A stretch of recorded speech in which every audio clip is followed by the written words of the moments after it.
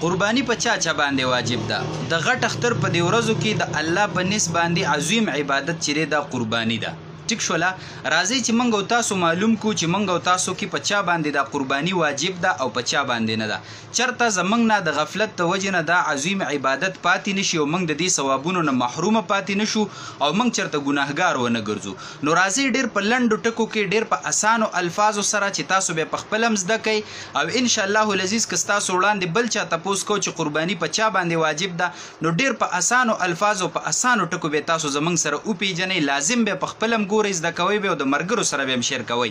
ګوره جی اول خو دا او پیجنې چې شریعت د قرباني د پاره شپک شرطونه خودلې دي که دا شپک شرطونه په چا کې او په دوانه قرباني واجب ده او که دا شپک شرطونه پکې نه وو په دې کې یو شرط هم نو نو بیا په د باندې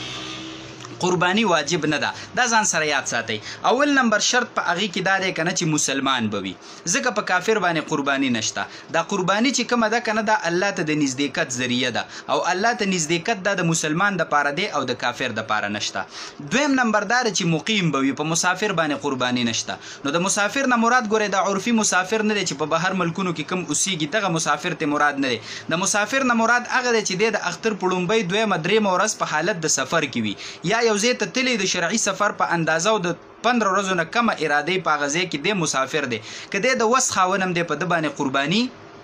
واجب نه ده نمبر دریم دا چې بالغ وي په نابالغ باندې قرباني نشته اگر کو د مالدارم دینو په د باندې قرباني دا واجب نه ده سلورم نمبر دا چې عاقل وي په لیونی باندې قرباني نشته چې خه سمجداري د عقل خاوندي نو په د باندې به قرباني وي او پنځم نمبر دا چې صاحب نصاب وي مالدار وي د نصاب خاوند وي نصاب څه شي دی هغه درته بیانوم خدا پر شپږو شرطونو کې یو شرط دا دی او اې شپږم نمبر شرط دا چې آزاد وي په غلام باندې قرباني نشته په خو غلامانو نو ای په ازاد باندې قرباني شته او په غلام باندې دا نشته دی اوس دا وپیژنه چې د نصاب خاوند څوک دی او نصاب څه ته وایي نو نصاب نه دی دوه پنځوس نیمې تولي سپین زر نه دي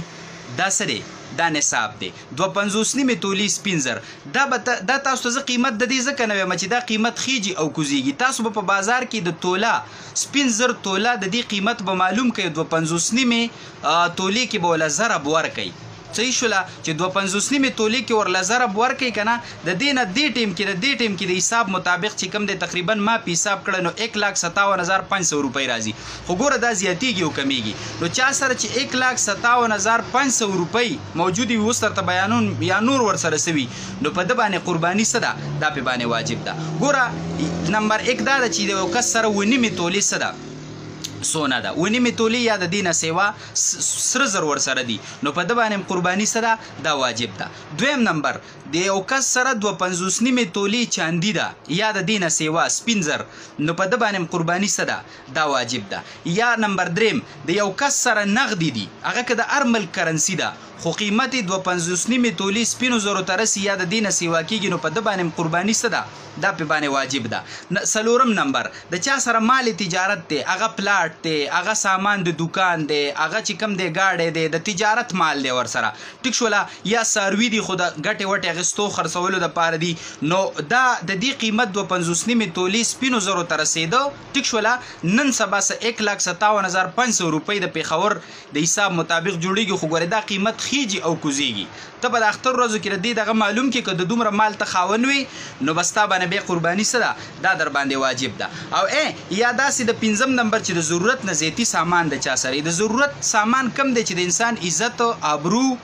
زندګی په دی سره بچ کیږی دا د ضرورت سامان دی مثال په طور باندی کور دی رهن سهن د پاره زی دی یا مثال په طور د د کپړی دی یا د پیزار دی یا چې کم دی د خوراک سکاک لوخی دی یا د پیشی خاوند دی دا غد پاره پیشی اوزار دی ټیک شولا دا د د عزت او ابرو او زندګی او جان په دی باندی محفوظ دی دا ضرورت سامان دینه علاوه په کور کی دا سی لوخی پراتری په ټول کال کی نه راغستل شي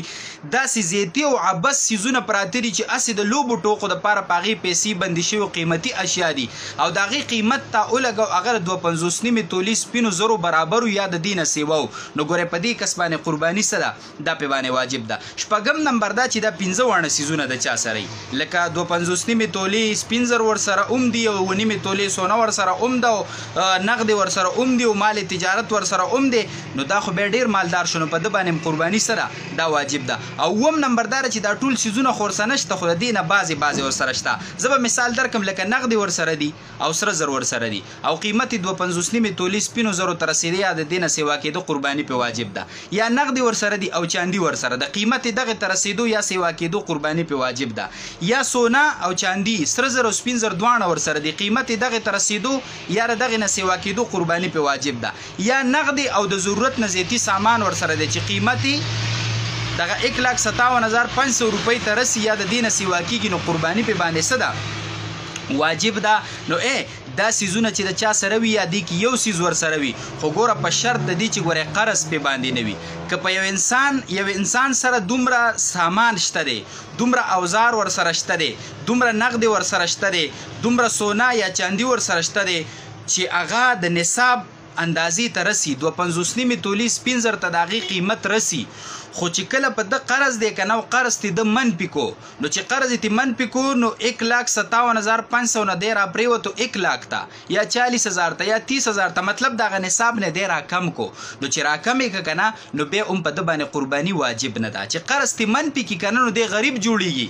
د دوه پنځوس نیمې تولې سپین زرو نه قیمت ده سره کم پیسې پاتې کېږي، نو لهذا بیا په ده باندې قرباني دا واجب نه ده. او دا هم یاد ساتئ چې دا نه ده چې دا د اختر په ړومبۍ ورځ د چا سره نه وي، نه، که د اختر په ړومبۍ ورځ د چا سره په دې کې یو څیز راغی چې دغې ته یې قیمت رسېدو، که د اختر په ړومبۍ ورځ غریب و، په دویمه ورځ ورسره دا څیزونه راغله یا په دې کې یو څیز چې قیمت یې دغې ته رسېدو یا د اختر په دویمه ورځ هم غریب دی، په درېیمه ورځ د نور پرېوتو نه مخکې مخکې د د دومره مال خاوند شو، نو په ده باندې قرباني واجب ده. دی به قرباني کوي زما محترم ورونو په دې کې څه خبرې نورې هم دي ان شاء الله چې نور کلیپونه هم پرې راشي خو ستاسو به مهرباني دا وي چې په خپله هم دا خبرې زده کړئ او دا خو ردي سیزن دی موسم یې دی نو لهذا ستاسو به مهرباني دی چې د ملګرو سره شیر کړئ چې خلکو ته پته ولګي چې قرباني په چا باندې واجب ده او هغوی زده کړي نو موږ او تاسو ته به پرې الله اجر راکوي وصلی الله